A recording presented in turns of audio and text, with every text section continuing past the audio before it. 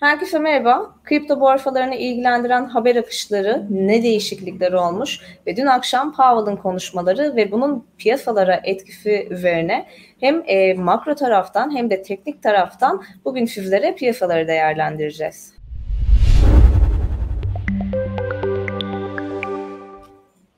Öncelikle haber akışıyla başlayalım. E, dün gelen haberlere baktığımızda Hindistan'da kripto para borsaları için vergi çalışması başlatıldı.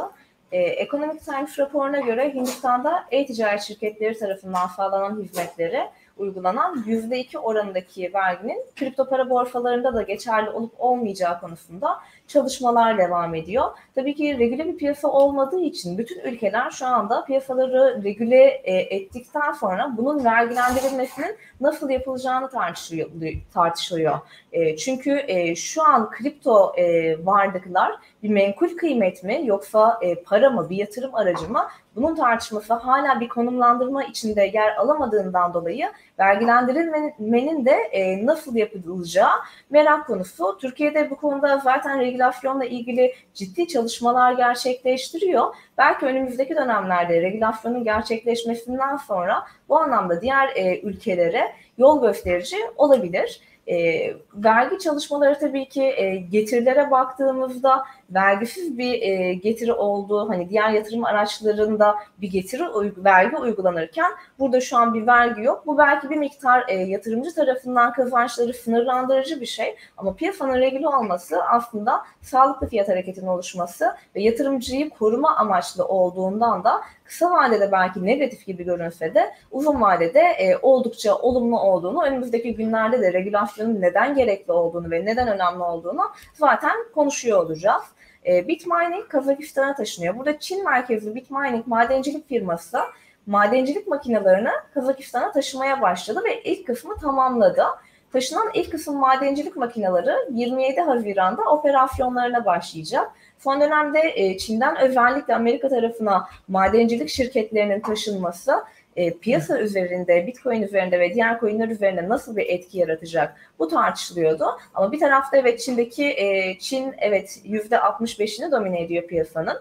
Ama diğer taraftan hala diğer madencilik e, çalışmaları devam ettiği için buradaki bu geçit e, geçiş sürecindeki kısıtlı sürenin telafi edilme imkanı var.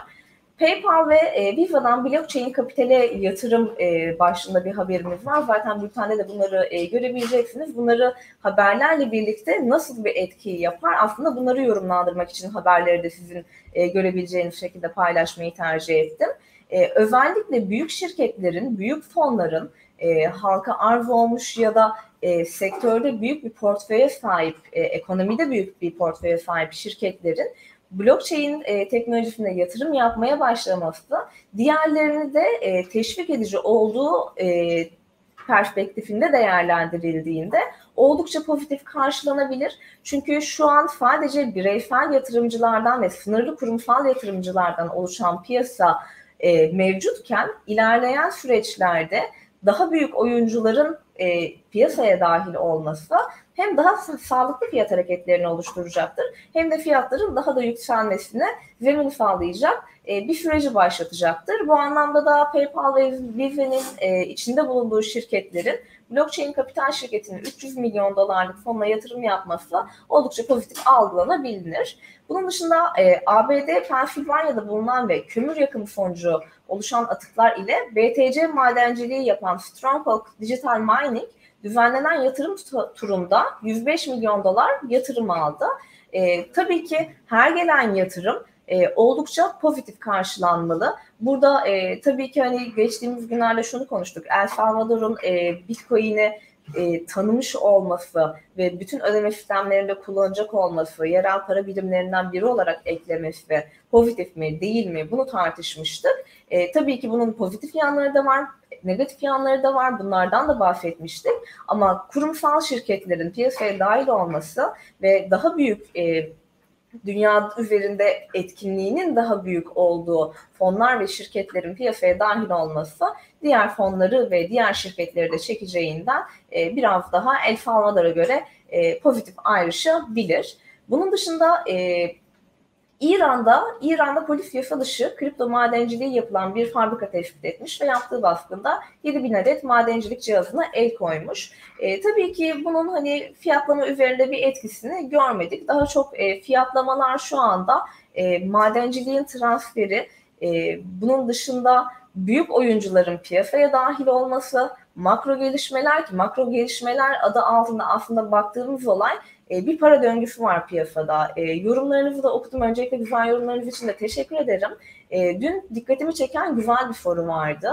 E, emtiaları satıyorlar, piyasaları satıyorlar kriptoları satıyorlar, para nereye gidiyor? Aslında önemli olan temel döngü bu. Para nereye gidiyor? Paranın nereden nereye geçtiğini algılayabilirsek şayet piyasada yönü tayin edebilmek açısından tabii ki haber akışı ve gelişmelerle birlikte daha sağlıklı işlemler yapma ihtimalimiz var. Burada birazdan yine değineceğim. Makro tarafta buna da değineceğim. Para nereye gidiyor sorusuna ve para neden bir yerden bir yere gitmeye ihtiyaç duyuyor sorusuna. E, haberlerle devam edelim. Çünkü e, Avrupa'dan, ECB'den gelen bir açıklama vardı. E, tabii ki sadece blockchain teknolojisi gerçek anlamda bir teknoloji devrimi ve e, burada özellikle merkez bankalarının, büyük merkez bankalarının da dijital parayı hayatımıza sokmaya çalışma çabalarını hızlandırdığını görüyoruz. Avrupa Veri Koruma Kurulu dijital euro konusunda veri gizliliğinin oldukça önemli olduğuna dikkat çekerek bu konuda gerekli kurumlara tavsiye vermeye hazır olduğunu bildirdi. Ve bununla ilgili de 14 Temmuz'da e, görüşme yapacaklar. Aynı şekilde ABD'den de dijital dolar üzerinde çalışmaların devam ettiğini biliyoruz. Çin aynı şekilde e, dijital yuanı çalışmalarını hızlandırdı. Burada aslında genel perspektifte amaç bir miktar hani kriptodan yatırımcıları dijital para birimlerine kaydırabilir miyiz? Ama hayır burada hani e, kripto borsaların blockchain teknolojisinin altında yatan ve güvenliği aslında her ne kadar şu anda tam anlamıyla merkeziyetsiz olmasa da merkeziyetsiz bir finans sistemi olması ve burada e, zaten hani baktığımızda büyük bir çoğunluğumuz dijital para kullanıyoruz. Çünkü kredi kartıyla harcama yapıyoruz. Bu da bir dijital e, ödeme yöntemidir. E, burada nakit paranın kalmaması ama e, ve tamamen dijitalleşme önümüzdeki süreçlerde yeni e, dönemleri ve yeni piyasa şekillerini ortaya çıkartacaktır. Burada hala dijital, e, evet şu an merkeziyetsiz bir finans sisteminden bahsediyoruz ve blockchain'in merkeziyetsiz olduğunu iddia ediyoruz ama parayla yatırım yapıldığı için burada tam anlamıyla bir merkeziyetsizlikten bahsedilemez. Dijital yuan, dijital euro, dijital dolar dediğimiz şeyler de aslında yine o bankaların çıkartmış olduğu garantörlükte keş paradan e, kullanım şekli dışında hiçbir farkı olmayan para birimleri. Bunlarla ilgili çalışmalar da gelecektir mutlaka. Bunun dışında El Salvador'la ilgili e, yeni bir haber gelişme var. El Salvador'da e, Bitcoin yasallaşması sonrasında muhalefet partisinden bir milletvekili ve bir grup vatandaş Bitcoin yasasına da karşı dava açtı. E, bu da tabii ki piyasa üzerinde çok etkili olan bir haber e, akışı olmadı. E, dün akşama makro tarafa baktığımızda şimdi e, pandemi döneminde özellikle makro taraf şu anlamda önemli. E, likiditenin bol olduğu ve geçtiğimiz yıl trend piyasasının hakim olduğu bir süreç yaşadık. Ama bu yıl bütün yatırım araçları için birbirinden e, farklı fiyat hareketlerinin oluşabileceği ve e, çeşitli enstrümanların ön plana çıkarken yatırımda diğerlerinin realize olacağı bir piyasa görme ihtimalimiz var. Burada aslında temel soru para neden bir yerden bir yere gitme ihtiyacı duyuyor? Geçtiğimiz yıldan farkı ne? Geçtiğimiz yıla baktığımızda geçtiğimiz yıl pandemi nedeniyle e, ekonomilerin e, desteklemek zorunda oldukları piyasayı ve e, kendi ekonomik sistemlerini, ekosistemlerini desteklemek zorunda olduğu bir süreçten geçtik. Ve bu süreçte bilanço, merkez bankalarının bilançoları büyüdü. Bol likidite enjeksiyonu dahil oldu piyasaya. Ama bu yıl artık o dahil olan e, likidite yüksek enflasyon yaratacak beklentisiyle varlık alımlarının durdurulacağı yani piyasadan paranın para, çekileceği beklentisi ön plana çıktı ve e, özellikle ABD tarafında enflasyon beklenenden kontrolsüz bir şekilde artacak mı? Çünkü e, bu süreç içerisinde çok fazla teşvik verildi. İnsanlar evlerinde oturdukları için çok fazla e, harcama yapma imkanları bul, bulamadılar. Dışarıda harcama yapmaya imkanları bulamadılar. Zaten yatırımları bu kadar artıran ve piyasalardaki fiyatlamaları bu kadar yukarı yöne taşıyan insanların hem paralarının hem vakitlerinin olmasıydı. Şimdi girdiğimiz döngüde bu likidite piyasadan çekilecek. E, şu, bu tabii ki tek bir seferde olmayacak çünkü geçtiğimiz parasal genişlemelere baktığımızda e, bu şu an pandemi döneminde sağlanan likidite daha önceki hiçbir parasal genişleme döneminde sağlanmamıştı. Bu açıdan oldukça önemli.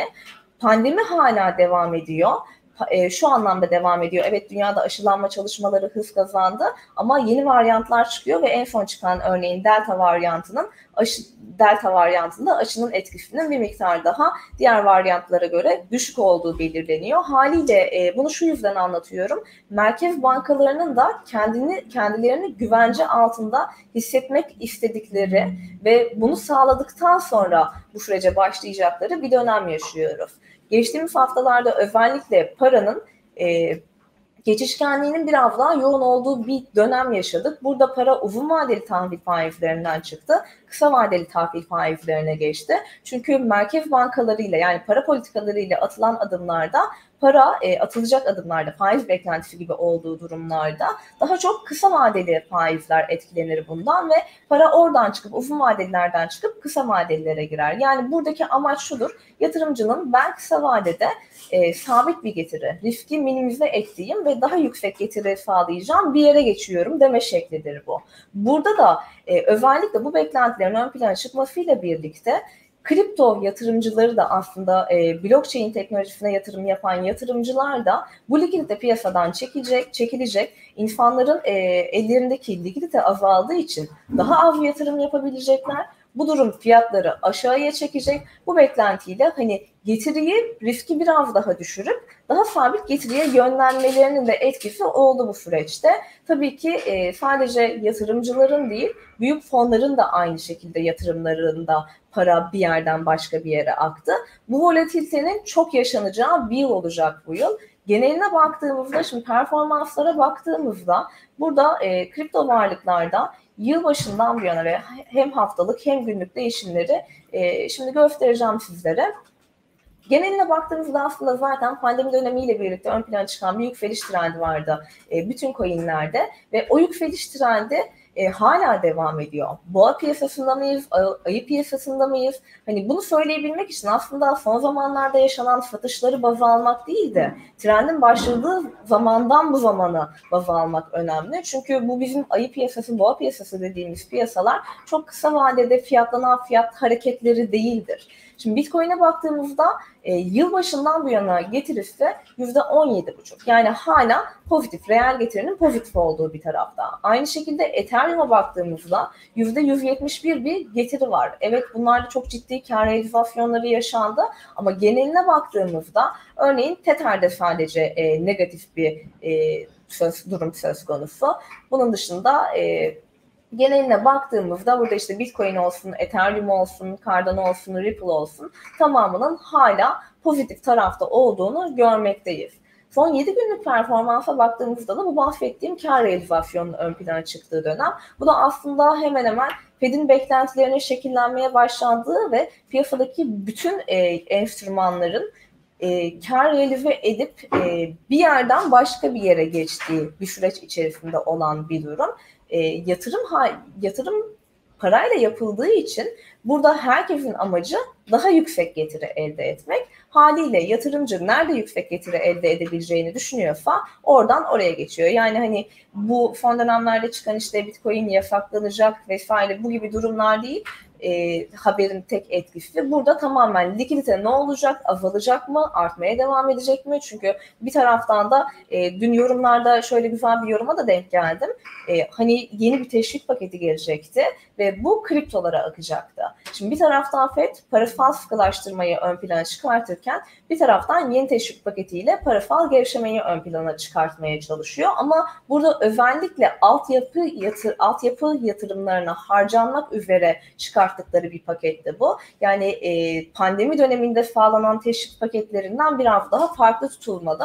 O yüzden de o likiditenin nereden nereye akacağı konusu diğer e, parasal teşviklerle çok kıyaslanamaz. Haliyle burada da e, sadece bu haber akışı değil, bütün makro gelişmeler ve kripto dünyasında yaşanan gelişmeler oldukça önemli olmaya devam edecek.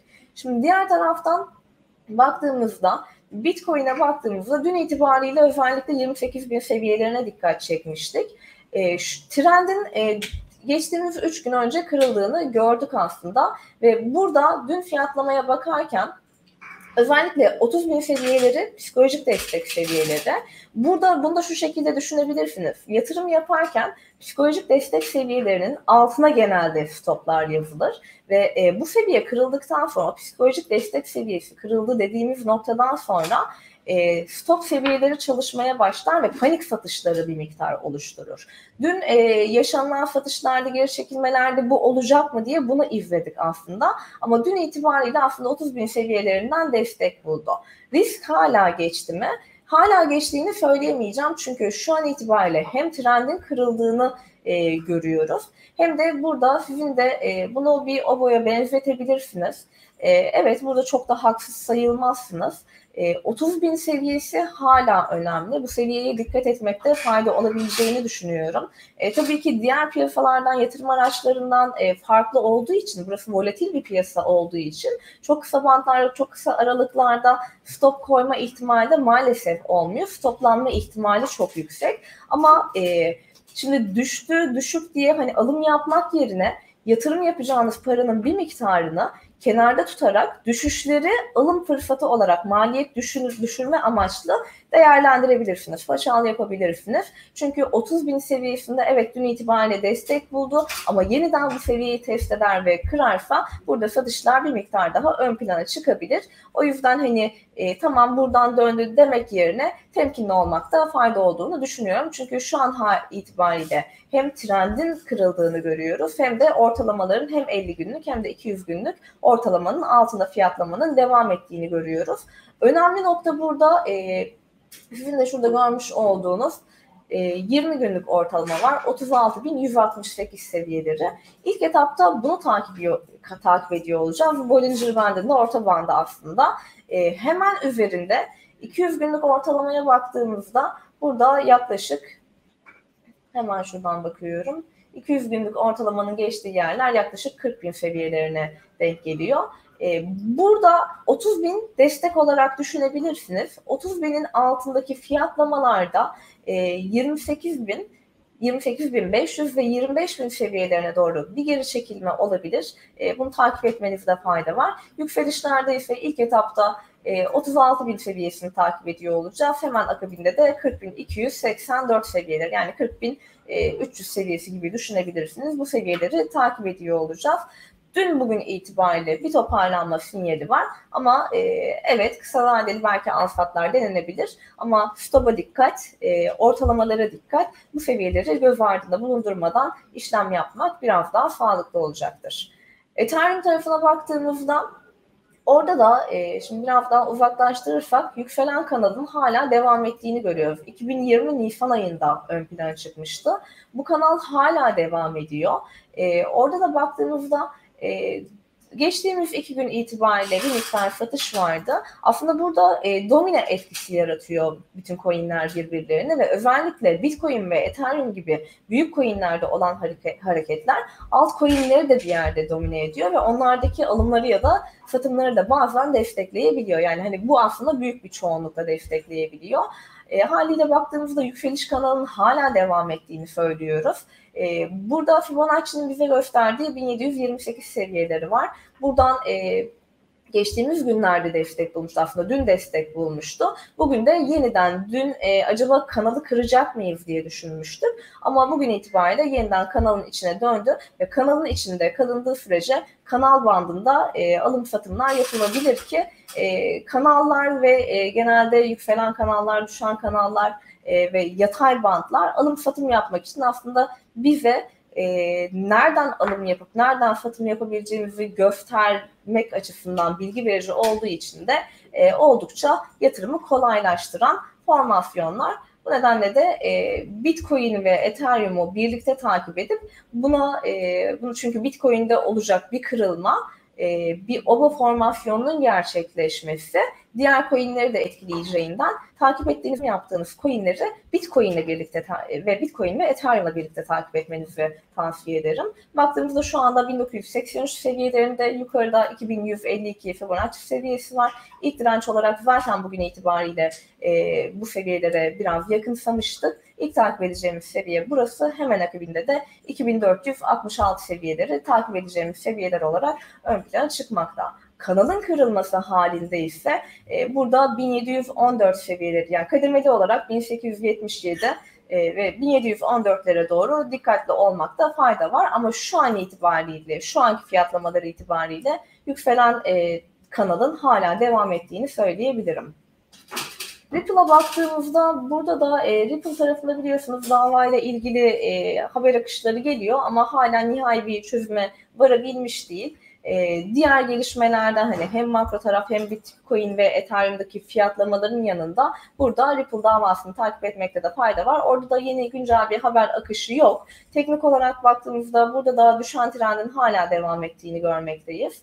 E, 7 günlük ortalamaya baktığımızda şu anda e, hani fiyatlamalar e, ortalamaların bir miktar e, 7 günlük ortalamayı kırdı. 14 günlük ortalamayı test ediyor şu anda. Burada da e, yükselişler hala trend dün de aynı şeyi söylemiştim. Trend kırılmadığı sürece yükselişler satış fırsatı olarak değerlendirilebilir. Alım yapmak için e, fiyat ucuzladı, fiyat düştü değil de e, trendin hani belki biraz daha yüksek maliyetli ama trendin kırıldığına emin olduktan sonra alım işlemini gerçekleştirebilirsiniz. Şu an geneline baktığımızda zaten bütün coinlerde zaten az önce de dediğimiz gibi her, her biri birbirini domine ediyor.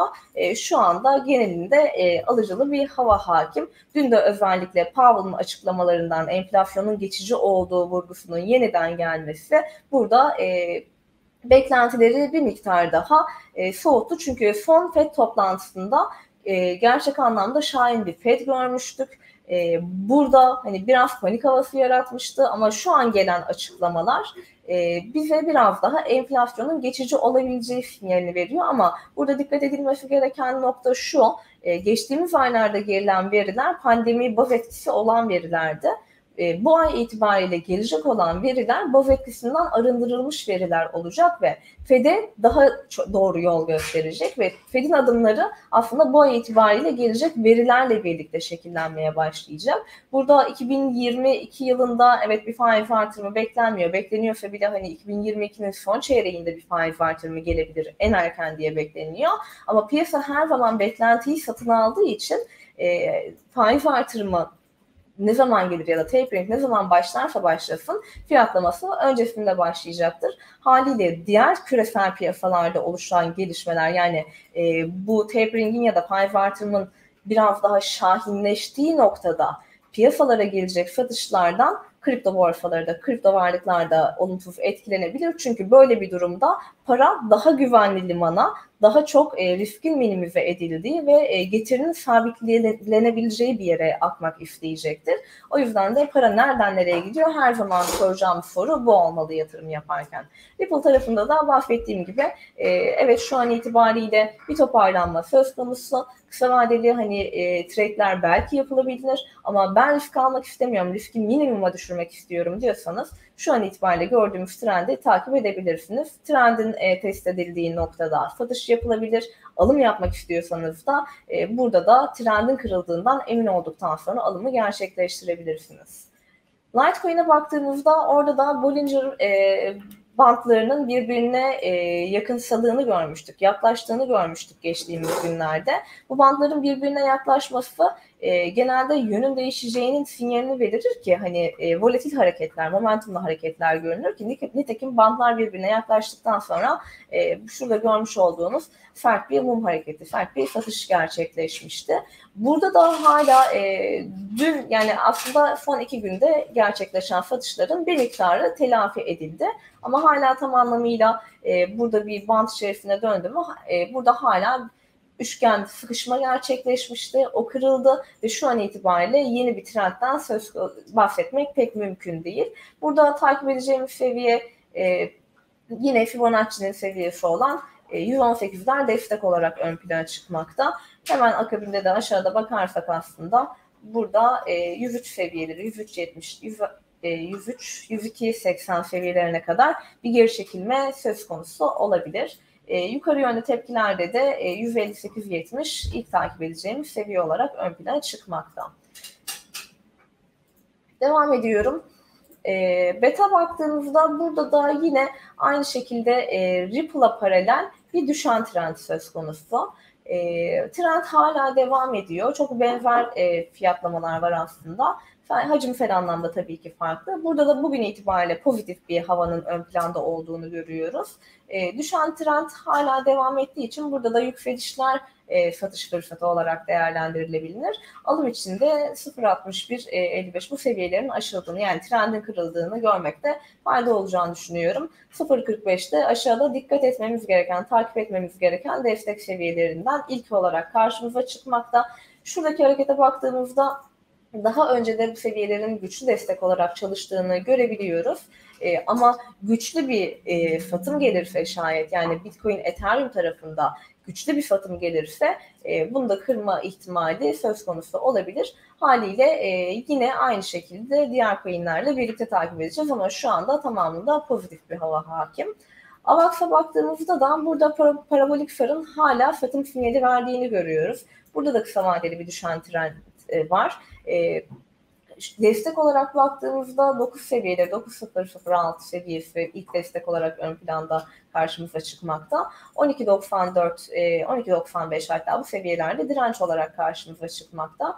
Burada da daha önce 11.06 bu seviyeler destek olarak çalışmıştı bu noktada şu an e, direnç olarak hani bu seviyenin yukarısına atarsak biraz daha 11.06'lardan hani destek bulduğuna emin olduktan sonra şu an itibariyle zaten 11.37 seviyelerinde gün boyunca da bu seviyeden destek kalırsa e, şurada görmüş olduğunuz trendi test etme ihtimali e, var diyebilirim.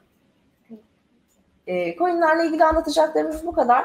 E, önümüzdeki günlerde sizlerden gelecek tavsiyelerle de şekillendirebiliriz e, beklentilerinizi hani yazarsanız özellikle ben oradaki soru cevap kısmını e, değerlendirmeyi düşünüyorum. Sorularınız olur da oraya yazarsanız güzel olur. Çünkü gördüğüm gerçekten çok güzel sorular vardı. E, bu Zoom yayınlarında da elimden geldikçe hepsine cevap vermeye çalışacağım. Çok teşekkürler.